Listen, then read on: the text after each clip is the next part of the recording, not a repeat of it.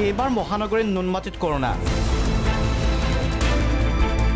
চিকিৎসাকৰ্মী তিলক ডেকাৰ দেহত মাৰাত্মক ক'ভিড নাইণ্টিন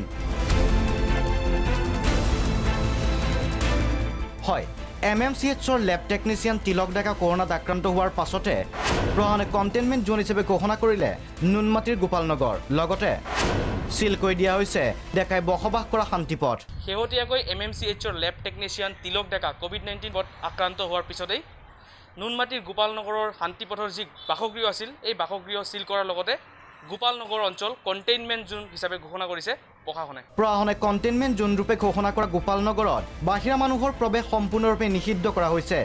চিল কৰা শান্তিপথৰ আৱাসীসকলক বাহিৰত ওলোৱাত সম্পূৰ্ণ আৰোপ কৰা হৈছে বাধা। অত্যাৱশ্যকীয় সামগ্ৰী যোগানৰ ক্ষেত্ৰত সহযোগ কৰিছে প্ৰশাসনে। অতি প্ৰয়োজনীয় জৰুৰীকালীন সেৱাৰ বাবে অঞ্চলবাসীয়ে স্থানীয় আৰক্ষী বা প্ৰশাসনক জনাবলৈ নিৰ্দেশ দিয়া হৈছে। কৰোণাৰ বিৰুদ্ধে যুঁজিবলৈ এম এম চি এইচ হস্পিটেলত কৰ্মৰত চিকিৎসাকৰ্মীগৰাকী নিজেই কৰোণাত আক্ৰান্ত হোৱাৰ পাছত নুনমাটিত অৱলম্বন কৰা হৈছে অধিক সাৱধানতা। পৰিয়ালবৰ্গৰ লগতে সংস্পৰ্শলৈ অহা লোকসকলৰ কৰা হৈছে ছুৱেব টেষ্ট। মানে হেৰি কৰিছে এই টেষ্ট পৰীক্ষা কৰিছে আৰু কেইজনমান আছে বাকী। আৰু এতিয়া দহ বাৰজনমান কৰিবলগীয়া আছে। নাম পাইছে আপোনালোকে? হয়। মোক কোৱাৰেণ্টাইন কৰিব কৈছোঁ আমি। ঘৰে ঘৰে গৈ কৰি আহিছোঁ দহ বাৰজনমান ওলাব।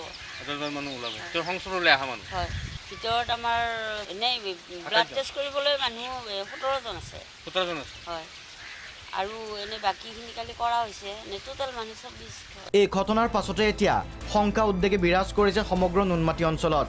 কিন্তু তিলক ডেকাৰ পৰিয়াল সংস্পৰ্শলৈ অহা লোকসকলক ছুৱেব টেষ্টৰ ৰিজাল্ট অহাৰ পাছতে গম পোৱা যাব পৰৱৰ্তী তথ্য।